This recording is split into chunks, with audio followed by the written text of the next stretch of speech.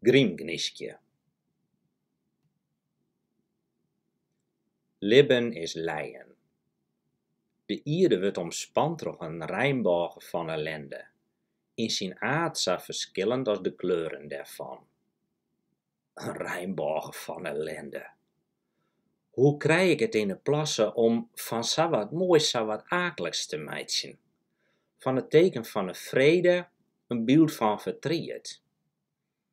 Wel, in de ethiek is het tjoerde een gevolg van het goede, dat in wezen we leien binnen uit willen. De narigheid van nou komt doordat de mooie tijden voorbij binnen. Of het bestaande leien had zijn groen in het witten dat us hoop op gelok om een nacht had. Ik steen in de boeken als pier. Mijn van wil ik net nemen. Ik kan al zeggen dat er net een steens in Friesland stiet die ouder is als de grieze grauwe staten dat die van huis laag bij menske witten zo lang in huis mannet. Er wordt dus drogen dat wij vernijers binnen. En in gans opzichten is dat ik zo. Us voorouderlijk huis, de schilderingen in de hal, het behang in de slipkamers, het bindwerk in de wapenkamer en vooral uw collectie antieke schilderijen, de onklaring van de bibliotheek en van zelfs de bijzondere boeken in die bibliotheek. Alle jaar bewijzen ze dat de mensen gelijk. Als ik om in Bennety denk, dan zorg ik vooral uw huisbibliotheek voor mij. Met al zijn boeken, dat ik later nog meer over vertellen zal. Us mem is er stoon in uw bibliotheek. En ik ben er binnen. Zou ik daarvoor al bestien, hè? Of jouwt het geen voer om soks te vregen? Jo hoeft het net met mij te wezen, ik weet wel wat ik leeuw. En jo moet zelfs maar weten wat jo leeuwen willen. Doch leidt het me bij dat er deze vormen wien. Jastige eigen, eerste eigen. En er weer loden, muzikaal, maar triest. Het binnen oordenkers dit ik samen net van mij oorzetten ken. Gedachten als skaten, vlechtig, wazig, ongrijpbaar. En krekt als echte skaten kriet me ze net voort troch het jocht op te stekken. In mijn geval het jocht van een reden. Hawaar. Ik ben binnen in de bibliotheek, zo is Ik was wekker na een lange sliep, uit een bestaan dat net echt lieket, maar het al wie.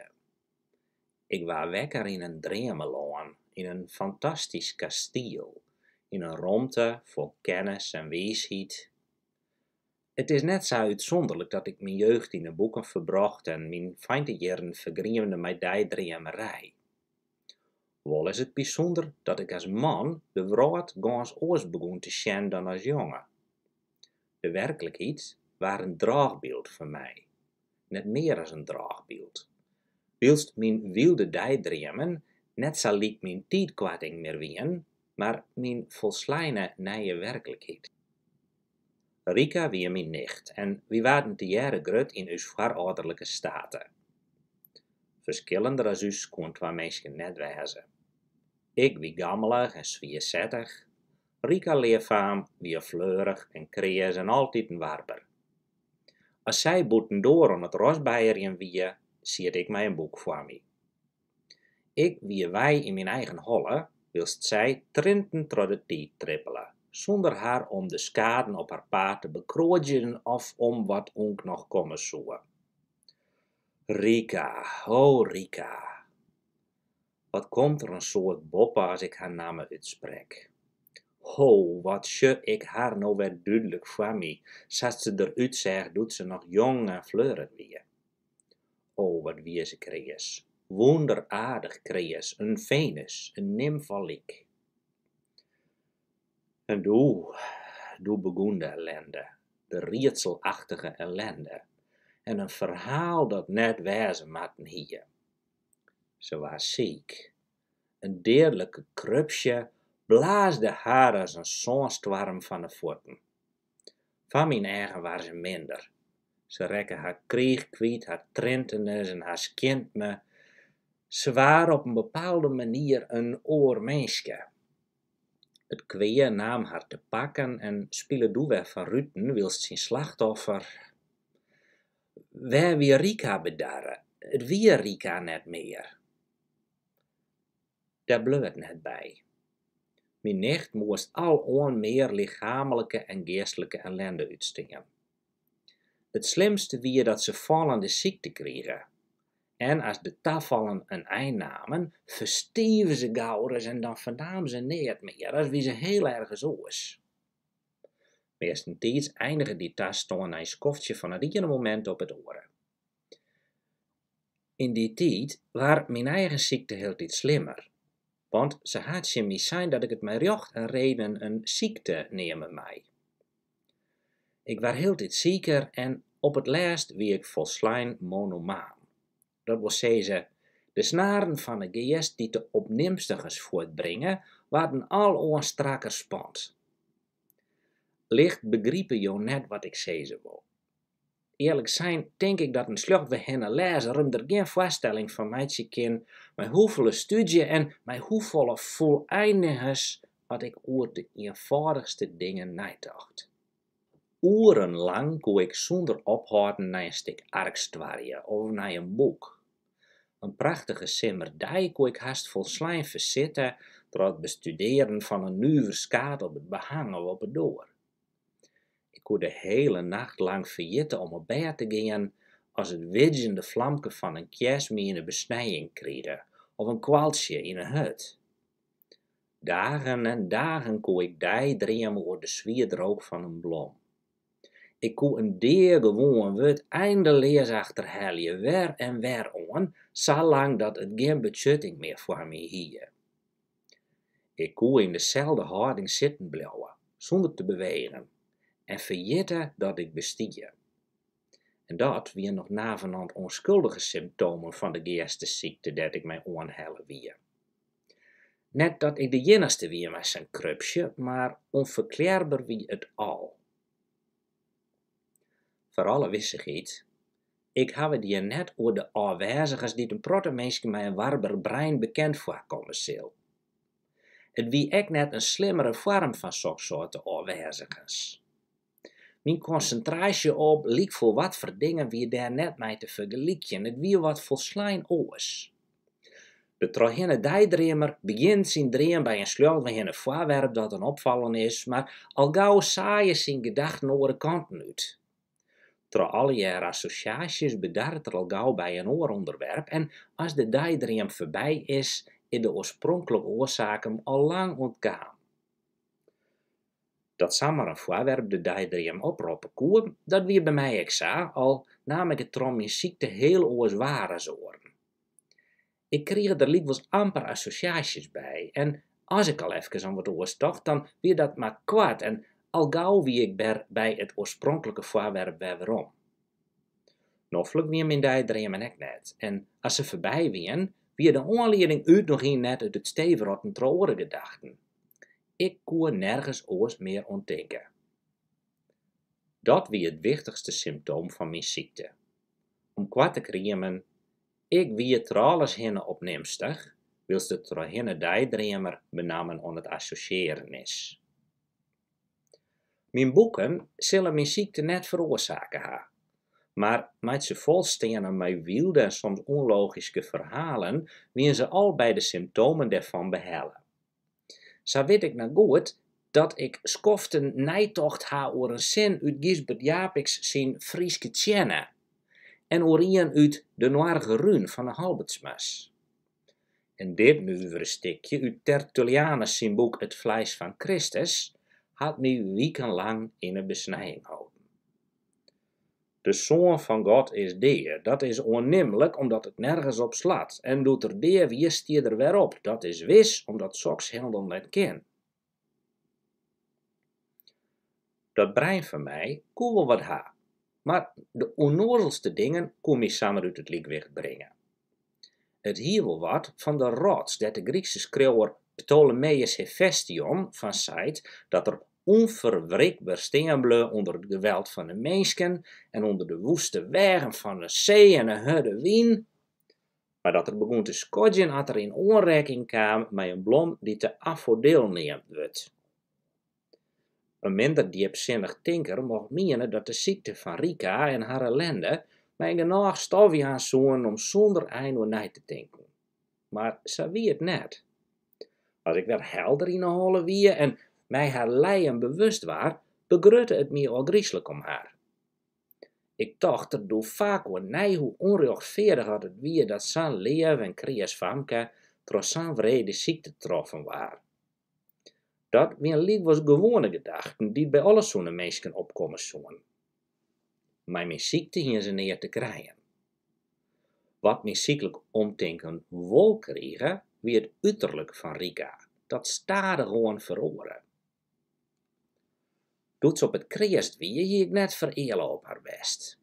Ik ben een nuivere typstra. Ik ha net een soort diepe gevoelens en het brein hier bij mij het het altijd de baas west.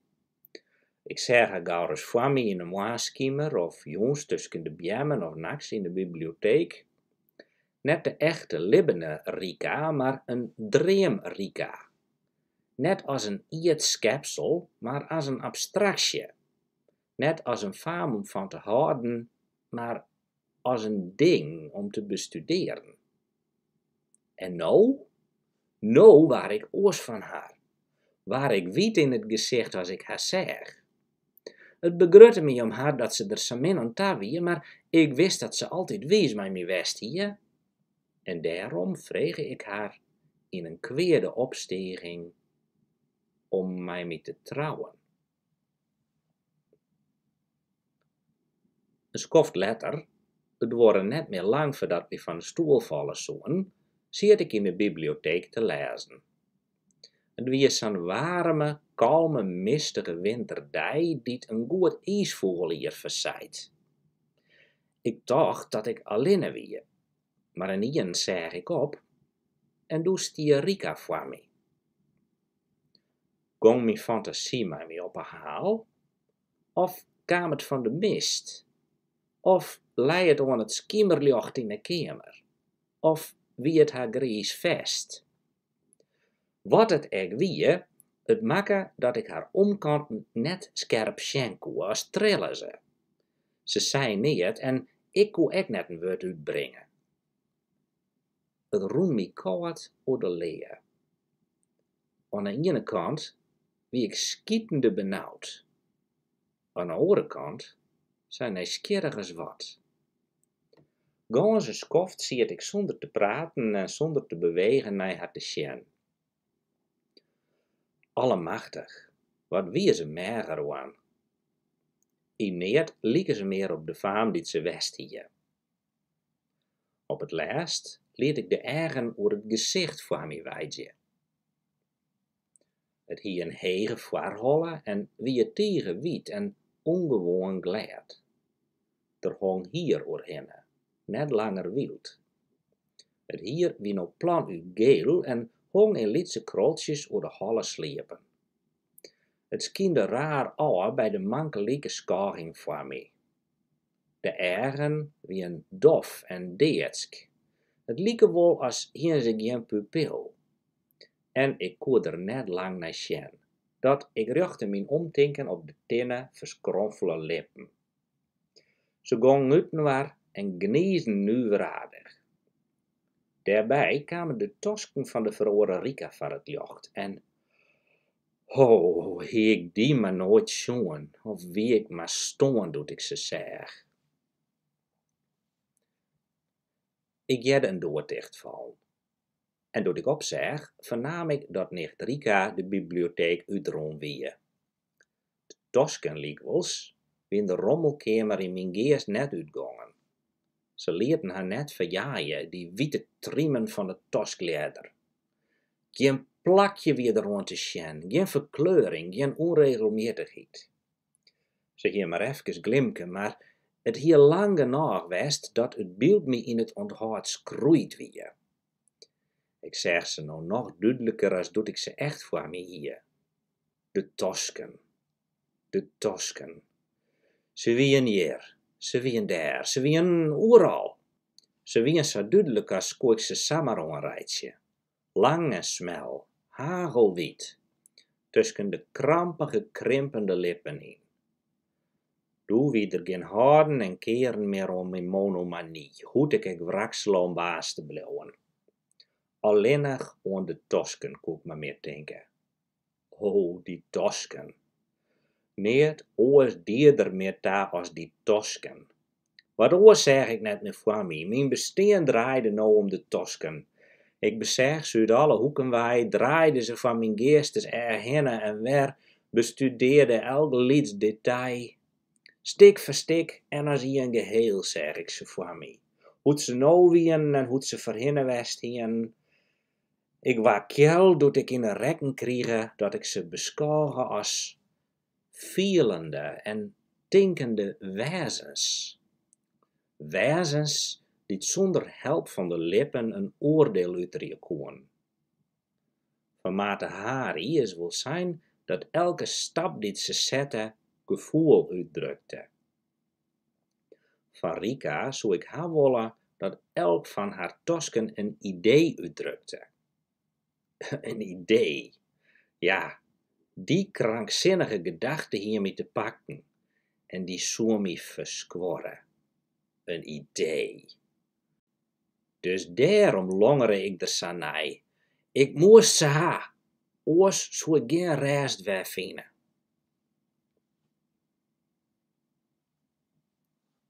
Het was joentijd. En het begon te tjustrien. Toen kwam de nacht en die ging weer voort. Het lemieren kundige een nije. En die ging voorbij. En het tweelicht van een tweede nacht kwam. Ik zie het er maar in de bibliotheek, zonder te bewegen, van mij uit te stwarien, zonder dat ik de tosken bij mij wij krijgen kon. Die ook griezelig witte tosken, ze zweefden troch de komende en gaande jochten en skaden in de kamer voor mij. Lang omlet squadde graas uit mijn dragerij wij. En daarna kwamen jastige stemmen, en zuinig stinnen en goon, als hier jen zwargen of pine. Ik kwam oorijn en loek een van de dwarren van de bibliotheek iepen. Mij stie een van de tjenstvamen in trainen. Ze zei dat Rika deer wie. Mijn nicht die moas betiet een aanval kregen en weer er hinnegongen. Het graaf wil ree van bewenner en ter wie een tijd vaststelt voor de begrafenis. Ik was wekker. Van Nijs zie ik in de bibliotheek en van Nijs wie ik daar alleenig. Ik hier de indruk dat ik weer wekker worden wie uit een nieuwradige droom. Ik een rekken dat het nacht wie en dat Rika te hoofd bracht wie. Wat ten nij voorvallen wie, daar hier geen oantinkers meer aan, geen duidelijke allereerst. De fladden die me tro de holle tispelen wien grauwwelig. Ik waar oer speel troch een zee van onduidelijke beelden die ik net begreep. Ik jette ek het skrille lood van een galjende vrouwjestem in de eren. Ik hier wat dien. Maar wat? Ik stelde mezelf de vraag lood op en de kamer echode hem zuntjes weerom. Wat heb ik dien? Op de tafel naast me stie een banende lampe. En daarnaast stie een kistje. Er wie neer bijzonders aan te sjen en ik koe het heel goed, want het stie onaris in een sprekkamer dat ik weet hoe vaak west hier. Maar hoe wie het op mijn tafel bedarre? En waarom waar ik zo als ik ernaar zeg? Het wie een groot rietsel. Toen zeg ik dat in een iepenslijn boek op de tafel een zin onderstreken wie. Het wie een eenvoudige dichtriegel uit het werk van Ibn Zayyad. Er stie Mijn vrienden zijn dat ik wat treest fine koe bij het graaf van mijn hetsvrouwen. Wat delen hier te betjutten dat ik die riegel net lezen koe, zonder dat het hier meer jocht razend oranje steen gaan. Waarom wie het me te moede als waar het bloed daar is? de waar op het doorkloppen. En sloekstutsend kwamen tjinstfeind de bibliotheek in. Hij wie zo wit als een graafbewenner en hij lieke deer benauwd. Zijn lood trillen. Het wie hees en heel diep. Wat zei er? Hij praatte in brutsende zin. Hij vertelde dat er lood garage had hier midden in de nacht. Het huispersoneel hier terrein zocht om uit te vinden wat zijn kabaal maken hier. Doe zijn stem nog trilderiger. Hij fluisterde wat oer een schijnd graaf, maar een knoeid lichaam erin, een libben lichaam dat beweegde en ziek helle. Hij wiesde naar een protje kleen. Ze wien smarrig van groene stof. Ik zei niet en hij kreeg me hoeden bij de hoorn. Daar stien uitdrukken van menselijke nagels in. Hij tjutte mij een steek ark aan dat de wand opstie. Ik stwarde er een paar minuten naar. Het wie een lodde.